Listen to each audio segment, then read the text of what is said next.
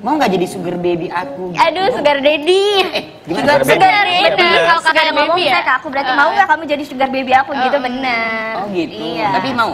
Mau lah. eh, aku tanya dulu dong. Satu bulan mau kasih berapa?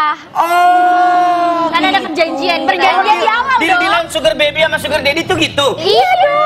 Satu bulan harus ngasih berapa cicilan rewa? Iya. 20 juta gitu misalkan. Kamu Iya. sanggupnya berapa? Misalnya dia bilang 20 juta, aku nggak mau maunya 35 juta. Ya udah terserah dianya lagi sanggup apa enggak. Kalau UMR Medan 4 juta. 4 juta kayaknya enggak ada. Gaji di LV aja lebih dari 4 juta. 4 juta. Ya, Oke oke oke. nanya. Oke, nanya oke.